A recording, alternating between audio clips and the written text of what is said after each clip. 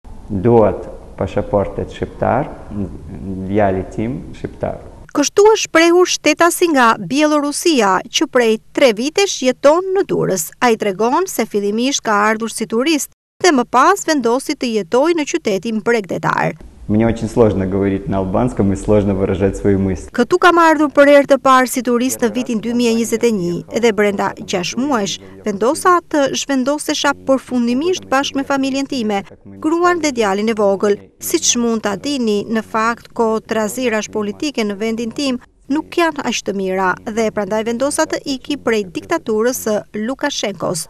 Më pas erdha këtu, pashë detin, klimën e mbrekullueshme, ushqimin, restorantet, baret dhe pashë që gjithçka që më rrethonte ishte perfekte, kështu që vendosa se ky ishte vendi ku duhej të jetoja. Ai ka zgjedhur tregun e pasurive të paluajshme dhe po përballet me mungesën e fuqisë punëtore.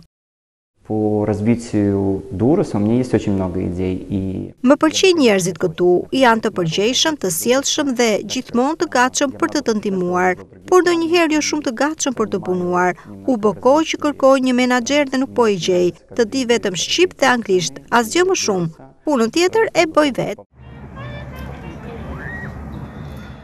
Vitet e fundit, kanë qenë të shumtë shtetasit nga Ukraina dhe Bjelorusia që kanë ardhur në vendin tonë si pasojë e situatave politike të krijuara në vendet e tyre.